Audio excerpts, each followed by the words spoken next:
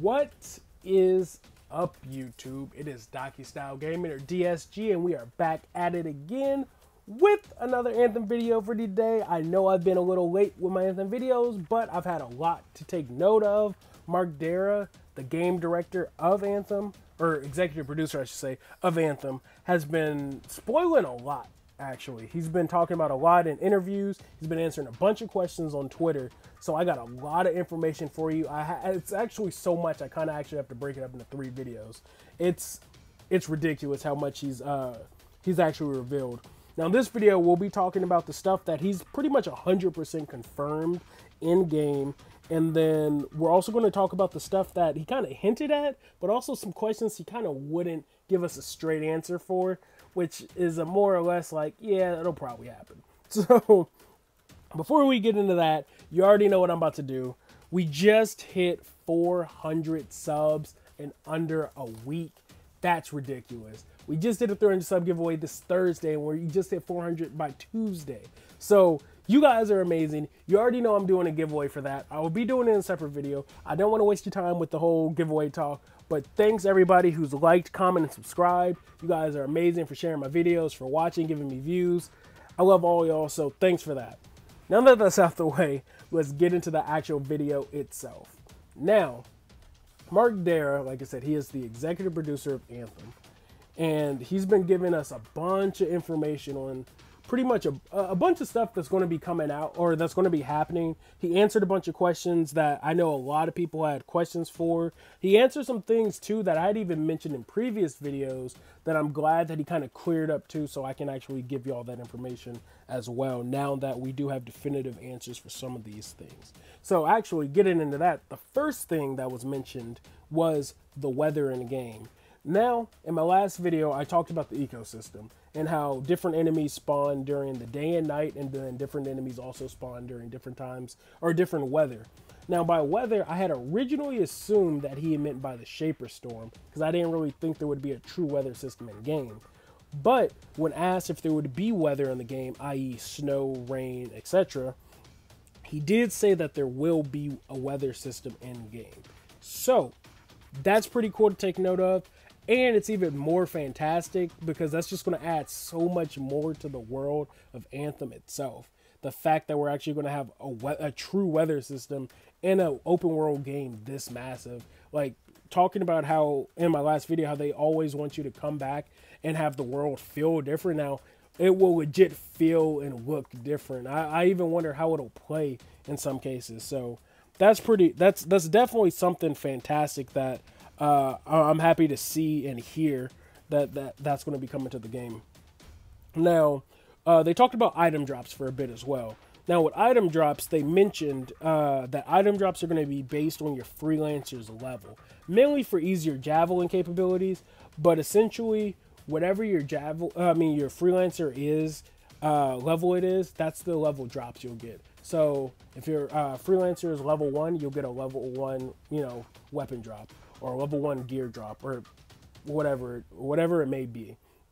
So depending on your actual freelancer's level will determine the actual uh, level of items that you get in the game. Now, onto a side note with the loot, they did say uh, that your level is determined uh, by the drops and not the enemies. Now, what they mean by that is that uh, it's it's determined by your level, your personal level. Uh, like I like I said before, is not determined by the enemies that you the difficulty of enemies. So, i.e., your level one fighting a level 100 enemy. Well, just because you beat a level 100 enemy, you're not going to get a higher level item. You'll still get a level one item drop, even though you fought a higher level enemy. So it's still going to be based on your personal level, not enemy levels. Uh, when asked about that because they there was kind of a little power leveling talk that was going on, and that that was one of the questions that was brought up as well. Now, also another loot question uh, that they talked about too was uh, the loot drops, and they said that the loot drops are going to be instance to players, similar to how Destiny is, where each individual player sees their own engrams. Like, uh, so you don't have to worry about other players taking your loot or being, you know, fighting over some, a bunch of loot on the ground and you trying to run and be the first one to get it. Everybody sees their own loot in the game and everybody gets their own specific loot in the game because it's instanced to that play to the individual players themselves. So that's something cool. He said, I'm glad that they kind of uh, talked a bit more about the loot in game. Now, on to a bit of support about the game that was uh, confirmed. Uh, they were asked about mouse and keyboard support for the game. And for PC, they said, of course, I mean, PC is going to have mouse and keyboard, but they did say that uh, PC will also have controller support. So Xbox, PlayStation, uh, you know, a regular, uh, different uh, gaming controller you'll be able to use for PC. Now, for console players, sadly, they did say that there is no mouse and keyboard support for console, but that's just at the moment. So right now there are no plans, but it could come in the future for the people who do like to play mouse and keyboard. I know Warframe literally just added that feature uh, in their their own game a couple uh, weeks ago, I believe. So yeah, it's just probably not a thing that a lot of people do, but some people prefer it. So that's probably just what something that wasn't really on their radar. So that's something like I said, it's it's not happening for console, but it uh it's just not happening at the moment. So it still could come. Now, onto a, a bit more about the support. They were also asked about crossplay between games, between platforms, Xbox PC, PlayStation PC, Xbox PC, PlayStation all together. I mean, we all kind of know the answer to this. No. like, we know Sony and Microsoft don't play well together, and you have the occasional PC console crossover uh, games, but for the most part, we kind of all knew that there wasn't going to be crossplay with Anthem. So uh, they did go ahead and just straight up answer that that no, there's no crossplay, which again wasn't expected. I mean, was you know expected of them to say. Now, on to the, a bit of the story and the cutscenes. They said that there will, will be multiple cutscenes in this game, but the cutscenes won't have dialogue options. So by dialogue options, whenever you're running through the story, I, I don't think I mentioned this in a video before, but you will have different outcomes, different choices, different things that you do in game that uh, affect uh, how your game turns out, how your Fort Tarsis looks, everything like that, depending on the options and choices you do in game. Now, with the cinematic uh, cutscenes, they said there won't be multiple choice, or there won't be dialogue options at least in the in the cutscenes which I kind of expected, but that's just something they wanted to point out. And I'm actually kind of happy that we're even getting so many cutscenes by the way that he kind of talked about it, because I'm I'm all for my game having a lot of uh, a, you know a major story focused game at least to have a lot of cutscenes. Like yeah, I love a lot of gameplay, but I like a lot of cutscenes to flesh out the lore of the game as well. So there are multiple cutscenes in the game, and the cutscenes will pretty much run interrupted. It seems so interrupted cutscenes, which are is nice to see. So, uh, on to the next thing that they kind of talked about was the uh, that the essentially the the world a bit. They kind of talked about the different things that kind of happen in the world of Anthem, and it got into the whole traveling mechanic in game in the the map at least. So they were asking about uh, is there a fast travel option for the game? And essentially, they said yes, that there will be different fast travel points on the map so that you're not always constantly just flying everywhere. Again, they haven't really given us a specific size of the map itself, but by everything we see we've seen so far, it looks pretty damn big. So, even though I'm pretty sure they want us to explore and see all the gorgeous scenery, I, also understand why they give us fast travel options because we might be uh, flying for like minutes at a time, and the fact that our jets have to kind of cool off and then reset, you know, it would be kind of tedious to just fly all across the map. So they did say that there will be a uh, an actual fast travel option, but when it comes to uh, the multiplayer option and free roam, whenever you're instancing with another player, you'll be instantly fast travel to them, which was something uh, I did want to point out as well that he said about, uh, I guess, the fast travel in the game. Now, uh, actually, and this kind of ties into that too, uh, fast traveling with other players. They mentioned that there will actually be rewards for helping players complete missions in the game. So that's kind of cool, you know they're they're definitely encouraging that other players help other players. But uh, the fact that, I mean, literally just by helping somebody complete a mission, you're also earning gear as well is something fantastic to see. So they didn't go into the details about the missions itself, like what type of missions it would be, like if it's story missions, if it's like contracts or anything like that. But they did say you'll actually get uh, you'll get rewards for doing it. So that's something to take note of. Now, uh, about the javelins that they kind of went into, they were talking about switching of javelins and where you'd be able to switch the javelins in game. And they said that as of now, the only places you'll be able to switch between javelins are going to be uh, Fort Tarsis and your Strider are the only places you'll be able to do this. Uh, do uh, switch your javelins at. Now there are going to be resupply locations in the game, which I haven't covered yet because it was actually just mentioned in some of the info that I've been uh, taking notes on. But it doesn't appear that those locations you'll be able to switch your javelins. So Fort Tarsis and Strider are the only places you'll be able to do it, i.e., places where you pick up your missions. So what they're essentially saying is before you start your mission, make sure you're on the javelin you want to be on before you run the mission itself. So, on to the next point. It's something I'm kind of happy for that they act that they finally addressed because I know it was asked before, but they didn't really mention uh, they didn't mention it at all. But they did say that there will be emotes in the game. So, you know, after you beat a boss and you want to celebrate with your team, you can do whatever you want, dance, whatever celebration they'll add to the game. I don't know the like level of it. I don't know how many you'll be able to have one at a time. They did just say and confirm that there will be emotes in the game. Now, something they also confirmed ish, well, confirmed to not be in the game, I should say, was pets. Apparently, that was a question that was asked a lot, but there aren't going to be pets in the game, which I wasn't expecting them to be there to be pets in the game. But that was a question that was asked, and he answered it. There's no pets for those people who are want to know if you have a companion in the game. now, let's get into a bit about the flight again. Uh, now, I covered in a previous video how where when you fly through waterfalls, you kind of re uh, you cool off your jets, so to speak. Now, also they they did uh, make a point to say that thrusters also cool down faster if you don't reach your overheat point.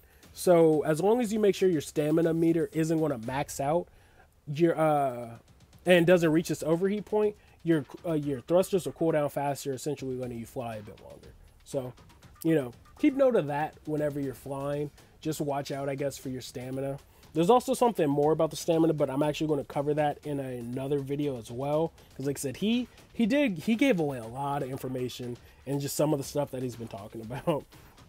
Now, some of the other uh, another thing that I was happy to see that he asked that I had kind of talked about in another video that I was unsure of was the ultimate abilities. Now I, I think it was, I believe it was my Colossus uh, or my or my Ranger. One of the videos I was wondering how you actually built your ultimate ability, and uh, I didn't know if it was going to be orb pickups because uh, there are orb drops, health drops, you know, things like that. I didn't know if it was going to be based off the kills or whatnot. And they did actually mention that it will be based off your damage output in the game.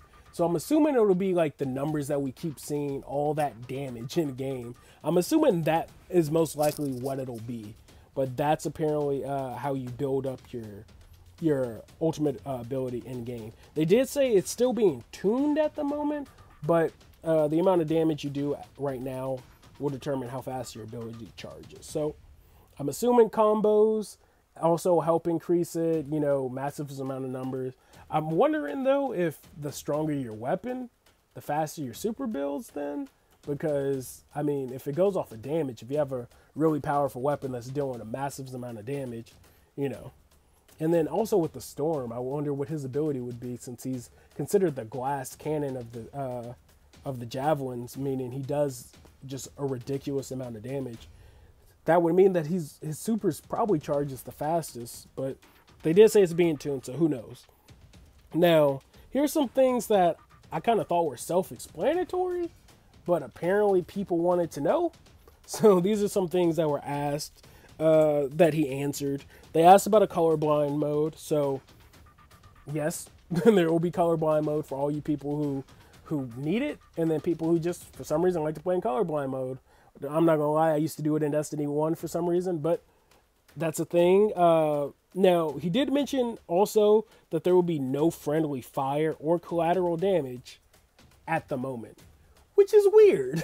like, I don't know how I feel about that. And being a dude that used to play Call of Duty, and I would troll the mess out of my friends with flash bangs, uh, concussion grenades. I would be killing them in uh, hardcore team deathmatch.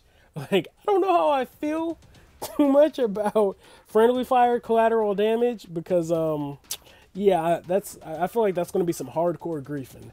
Not gonna lie. Now they said there's no friendly fire or collateral damage, but they did also say at the moment. So I don't know what's gonna happen with that, and I guess we'll just wait and see. But there is none right now. No friendly fire, no collateral damage.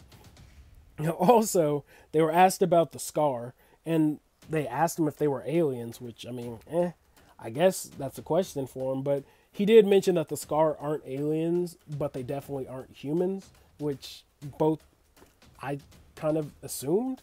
Like I just assumed the Shaper artifacts created them because they said they were mutating things in the Earth. So I assumed that's where they had came from. But you know, there's your definitive answer. They're not aliens, but they're not humans. if that's really an answer. Now, go to the last two points of things that he's confirmed now, we were talking about the flight and freedom that you'll have in the game.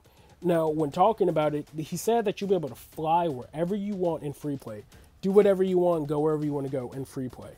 But in missions and solo play, uh, they'll pretty much, well, not solo free play, but solo play, like in missions story wise, uh, they're going to try and do things to make sure that you stay on like the beaten path in your story mission. So it's not going to be like full on, you know, free roam, but you'll still be able to, you'll still have some freedom at least. But they're going to try and make sure that you kind of stay on your mission track at least. So it could be them just putting up, you know, random ba- barriers that they generate for the mission or something like that. So you can't exit, but who knows? But like I said, that was something to take note of. Now, lastly, the thing I'm personally most excited for is fully voiced characters. Yes, our characters will have voices, and yes, I'm super excited for that. Why am I super excited for that? Play Curse of Osiris Destiny 2. Yeah, go play it. I'll wait. Oh, have you played it? You probably didn't.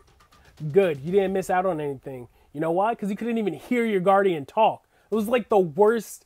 I'm not going to get into it. I'm just glad our characters can talk. I'm super happy our characters can talk. So that's something they said was happening, and I'm happy to see that.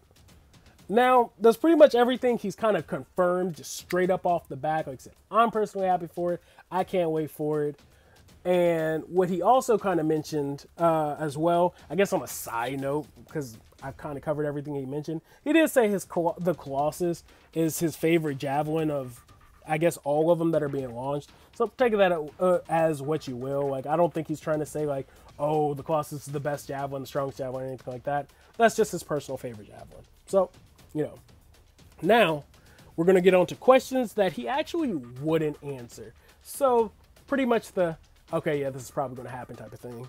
So, when asked about the movement speed, uh, previous how we were saying that uh, that each character will have its own individual, uh, will have its own movement speed. Uh, actually, I don't know if I covered that. I think I did, but uh, but the uh, yeah, I actually didn't cover that in my last part. But apparently, the uh, they were asking about movement speed. So according to Mark Darrah, the the javelins will have the exact same movement speed outside of combat. Mainly, it's for the Colossus because they don't want the Colossus to always be far behind.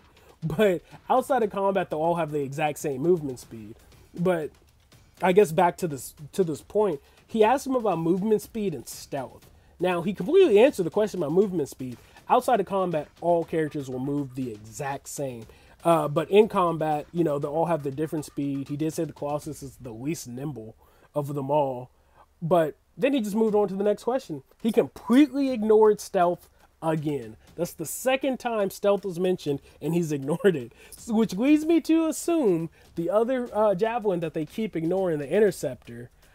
I, like I said, I really feel like the Interceptor is going to have a stealth mechanic. I mentioned it in my uh, Interceptor video, but I feel like if any Javelin was to have a stealth mechanic, it's going to be him.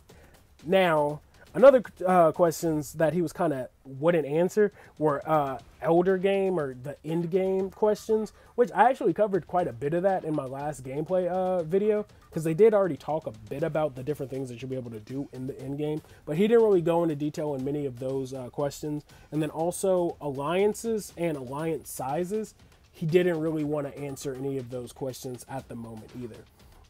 Now, these last three items are things that he asked uh, that were like questions and answers. So, when asked about a melee based javelin, he did say possibly, but they're not talking about post launch uh, plans yet. Meaning, yeah, there's probably more javelins to come, which I, I think we all assumed. I mentioned that in my interceptor video as well. even showed a clip of it that they did say that there will be other javelins coming in the game.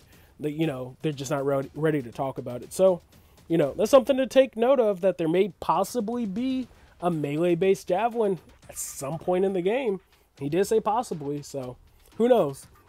Now, uh, another question that was asked was Will uh, there be special Javelin gear sets in the game that unlock special perks when you complete the full gear set?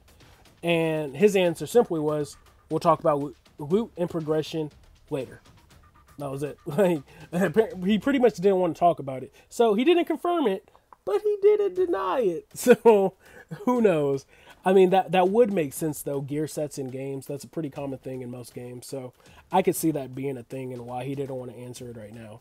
Now the last thing was something I was kind of surprised about was was asked, uh, what will our our apartment in Fort Tarsis be like? And I was just like, wait, they covered that at some point? Like I've been pretty like scouring a lot of stuff in terms of Anthem and didn't know we were going to have apartments, but apparently we are. But when asked about it, he simply just said details to come later. So he didn't go into detail on that, but he didn't also, you know, deny it. I mean, he was kind of telling us, yeah, we are going to have apartments, but he'll give us more details on it.